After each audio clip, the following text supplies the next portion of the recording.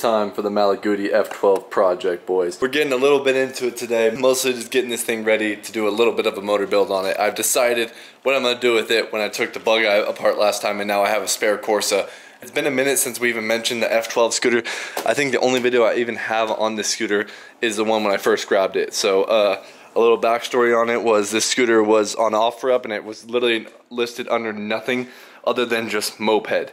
And I found this thing and I saw the pipe on it. I didn't even really recognize what kind of scooter this was because the photos didn't show much detail at all on it. And I was amazed when I saw it and I went and checked it out and it was actually it was actually an older lady who had this scooter and she was like in love with it and she knew all about it. She knew um, how rare they are and everything. She did not want to sell it, but she fell and hurt herself and she needs surgery or something. So a few things on the last video because I mentioned how rare this scooter is. It's different when you're in America compared to other countries that have scooters that are actually produced and sold like this on a daily basis. Like it is very uncommon to even be in America and really see scooters unless you live in a really, really compact city. No one really uses scooters and it's way more common to have cars here. Whereas in other countries, I think there's like difference in ages when you're allowed to drive certain things. Like you're only allowed to drive certain things at like 15 or 16 or 18. I've heard people message me and say like, I can't wait till I'm turning 18 that I can get a Zuma. And they say that Zumas are like you have to be older to ride a Zuma. Obviously laws are way different in different countries. I've been to countries like Thailand and other parts of Asia where scooters are the most popular thing and you see them everywhere on the street.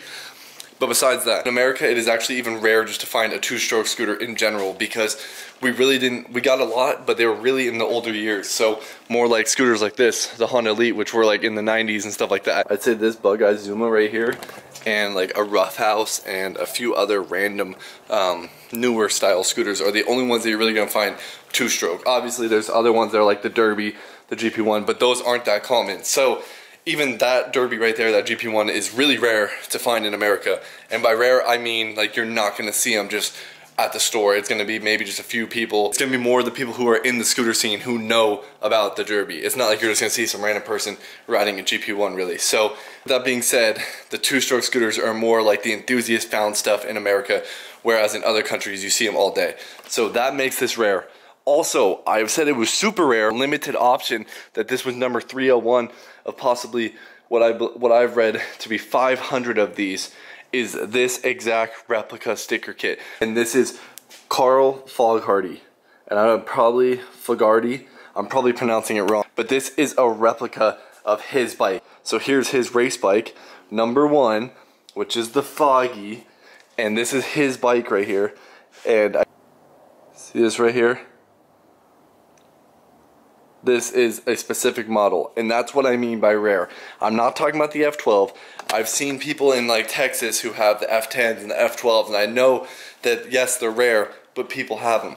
But this exact one, the Carl Foggy, the Ducati Corsa, the one that is literally based off Carl Foggy, right here boys, that is what I mean by it's a super rare limited edition, one limited run because from why from what I understand, this number is literally um, what number it is out of 500 that were made. I read on one post that 500 were made and only 50 of them were in America. Of this F12 with this sticker kit. It seems like I literally have to explain myself a million times to even get my point across to like two people when people watch these videos because everybody will still comment, get a runner, get an Aerox. Want to import one? You're paying $5,000. As a runner, Aeroxes, and the Zip. If I could find any of those, I would. But dude, but you guys don't understand how hard they are to find.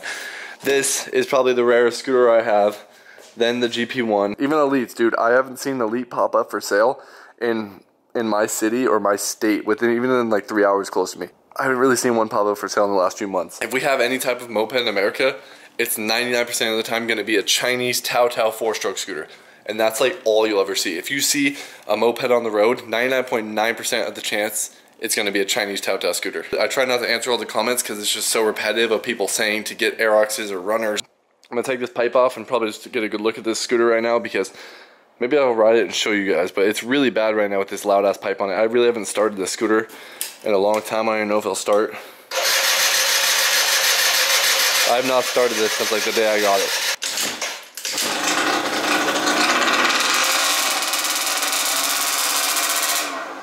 So bad.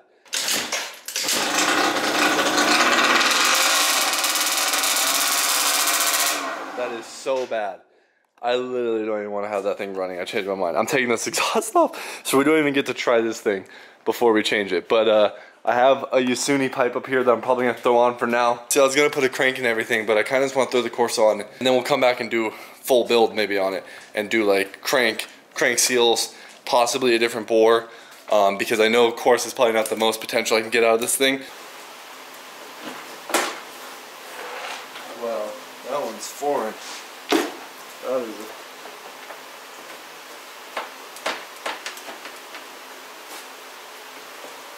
I've never seen a scooter panels get removed the way this one does. It's the scariest thing ever. Not gonna lie.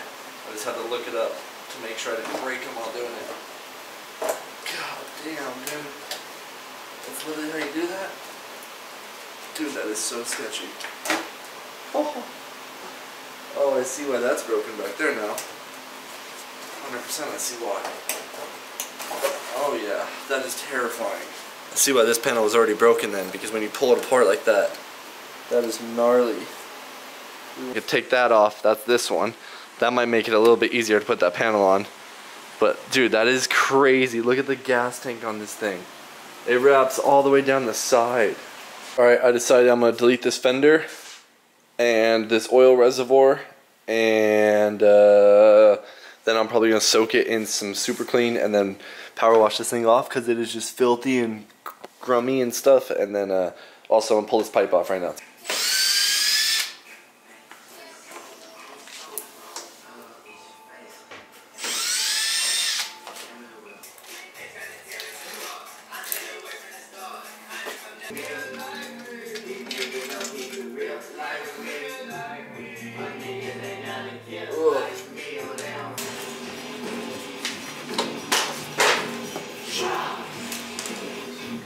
Alright, about to power wash this thing off. Um, got the fender off, got everything off. It looks already a lot better. Um, but I'm probably gonna put the fender back on over the tire.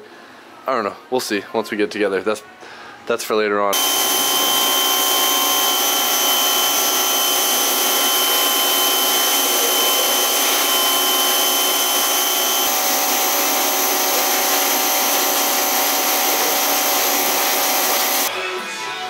Thing is actually so mint, dude.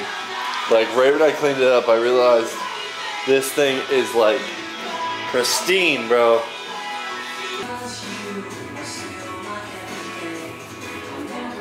Alright boys, we're adding in some random work because there's just some stuff that have to get done around the garage. Uh, working on this pre-bug right now. I also got to get a shipping situation for this motor. So I'm going to show you guys how to ship a motor tonight. I'm also taking this pre-bug motor off because the homie Aaron is buying this motor out of this thing. So I did some bolts today, about to drop the motor out of this thing right now.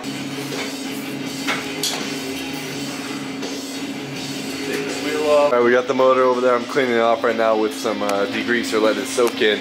The reason I'm parting this thing out and I'm not keeping it is because you can see right here how bad the bend in this frame is. It makes it where this thing is like completely vertical.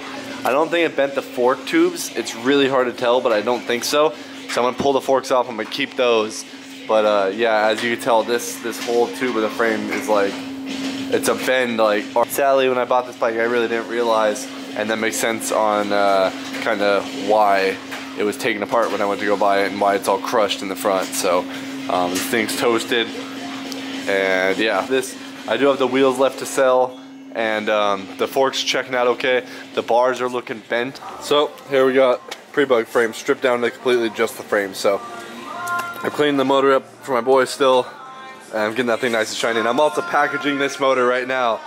So my strategy was put a pillow at the bottom, saran wrap it, set it in there, and I'm gonna stuff a bunch of stuff around it and also saran wrap something over the top of it. I have not been posting much videos lately um, on scooters mostly because I've just been so busy and like working on my car and my car takes like four times as long. You could spend a whole night doing one thing on a car, whereas you could build a whole scooter in one video in like one night. So that's snug.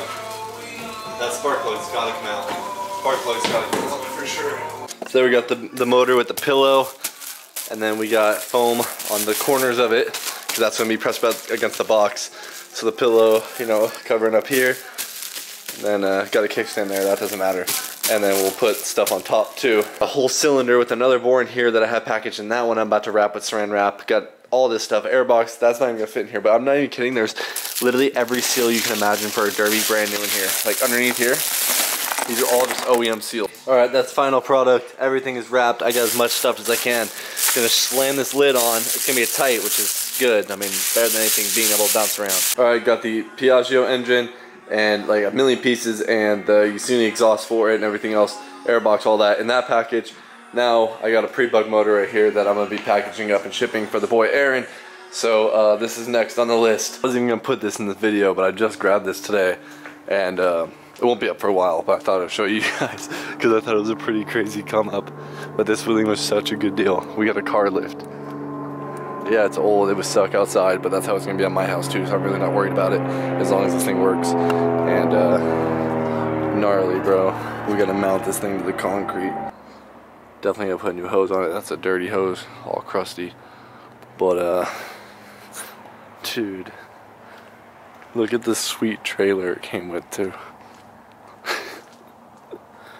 Saw that car lift pop up today on like the Facebook Marketplace. I literally had three of my friends send it to me instantly because they know I've been looking for a car lift, and that thing was like a super good deal. Even if some of the stuff is bad, like the line, it was still so cheap that if I can sell that trailer and get like four or five hundred bucks for it, the lift pretty much is free. So it was it was super worth it in my mind. The only thing now is I only laid a four inch slab of concrete back here, and it's not reinforced with rebar, so it's literally just 4,500 psi concrete um, slabs. So I technically could mount it up, but I wouldn't want to put anything on it more than like 3,000 pounds on the lift. Or I just talked to the concrete dude that did my stuff before, and we can cut these slabs out and put like eight inch thick ones and be golden to the point where I can put my truck on that lift if I wanted to. So I'm kind of leaning more towards that route and just putting the lift up right the first time because it would kind of be dumb to go through all this work to mount it and then be like I can only put drift cars on it that are gutted. You know what I'm saying? So I've been trying to put out this video for a minute and I'm like over a week now I think without posting. So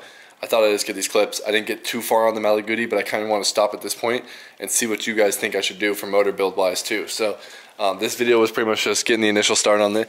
This is what we're going to be working on for the next few videos. I got a video planned soon for this RC1 because I really haven't even gone and rode it yet because it's just been so cold. A lot to come with the drift car. There's been a lot of drift car content lately and I have a bunch more.